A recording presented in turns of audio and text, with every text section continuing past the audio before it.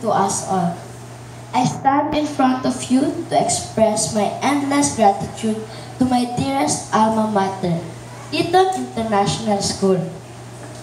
Being an Eton kid has been one of the most challenging, yet best years of my life. Alongside my studies is a path I have been taking on since I was younger, which is being a celebrity. I can totally say that it had not been so easy for me.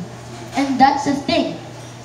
It had been hard for me and I surpassed. You might be wondering why. It is because of how I was surrounded in this environment. Because of the ones around me. I was able to survive.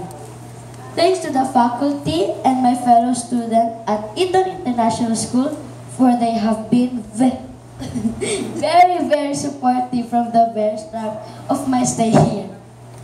Because of my Eton family, I was able to co- coordinate my out-of-school activities and happened to realize that I was beginning to manage it well. I have to admit that it was very, very hard to balance my studies and career, given my age, that has led me to understand better my strengths and weaknesses as a learner. In Eton International School, no matter what culture or background they are from, students are always treated with respect. Not just the teachers. In Eton, I was provided with constant guidance and encouragement from the academic and administrative staff. With that, I thank you for not giving up on me.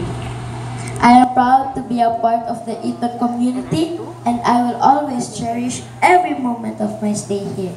Thank you very much.